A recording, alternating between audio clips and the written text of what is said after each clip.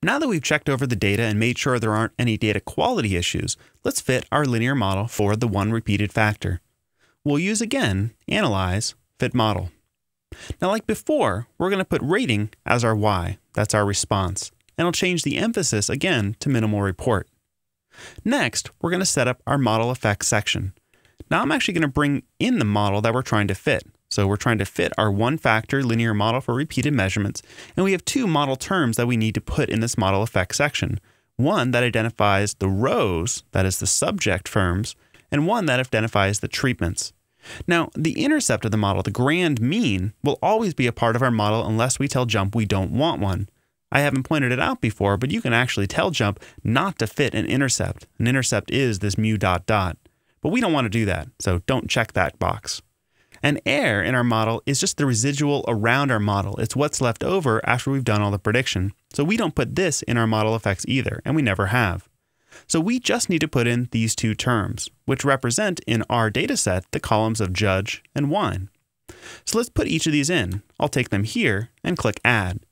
Notice we're not fitting an interaction. That error term actually is an interaction. So JMP will actually be fitting that error and that interaction for us. So these are the two model terms we need to add to our model, but we're not done yet. Remember, wine and judge are different types of effects. Judge is a random effect, and wine is a fixed effect.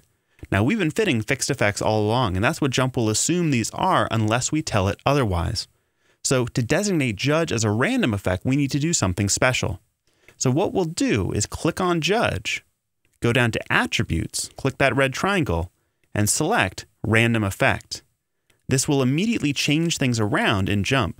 Notice first that judge is appended with and random to identify it as a random factor. We also get a new section called method. Method is the method by which this model is fitting. And what we want is REML, residualized or restricted maximum likelihood estimation. I told you I wouldn't get into the details of the modeling, but I will just say that REML is a computationally intensive procedure. This isn't a closed form solution. There aren't formulas that JMP will be carrying out to fit this model. Instead, it will be iteratively fitting models and converging to a gradient. So this will actually require your computer to iteratively fit parameters to these models to come up with the most likely model given the data. That's maximum likelihood. The other options we have here are things you shouldn't touch until you learn a lot about them. So just leave the rest of the defaults on and our model is actually complete. So now that we have it set up, go ahead and click run and you'll see similar output to what we've seen before, but with some additional sections.